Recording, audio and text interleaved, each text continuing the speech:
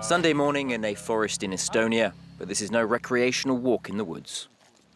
And our company is at the moment doing uh, medevac uh, procedures because we have some casualties. Drones buzzing overhead, assault rifles and heavy weapons in their hands.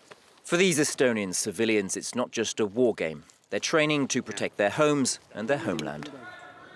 Today's adversary, played by a unit from the French Foreign Legion, part of the NATO presence in the country. We're impressed by the ability they have. They're civilians who are giving up their weekends, who are giving up their time to train in combat skills and learn about defending their rear positions. The exercise pits 100 Estonian civilians against the force of professional French soldiers. Facing blank rounds and an intense assault, the Estonian forces are eventually overwhelmed.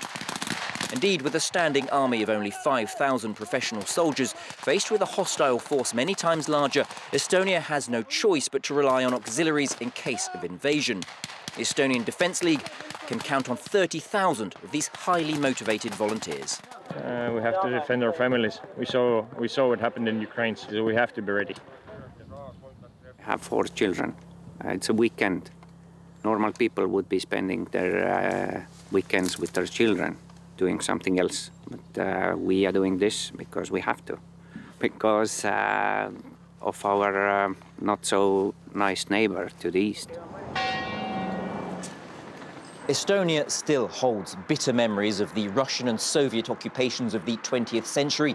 This monument bearing the names of the thousands of civilian deportees from that era sharing a 330 kilometre long border with Russia and with a large ethnically Russian population, the question of its security dominates the political debate. Meaning Estonia, ahead of the European elections, is counting more than ever on its Western, NATO, and European allies to guarantee its security.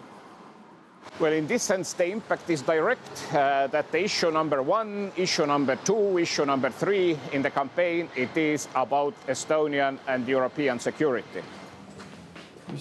So Estonians' proposal is, and I think it's a good one, that uh, from the European Union countries' GDP, everybody allocates 0.25% to defense of Ukraine, and Ukraine will be able to win the war.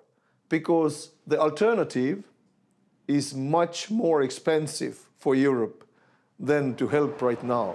While Estonia's political parties agree on the need for unity in the face of the Russian threat, the main points of division during the European elections are focused on the EU's Green Deal and the Estonian economy.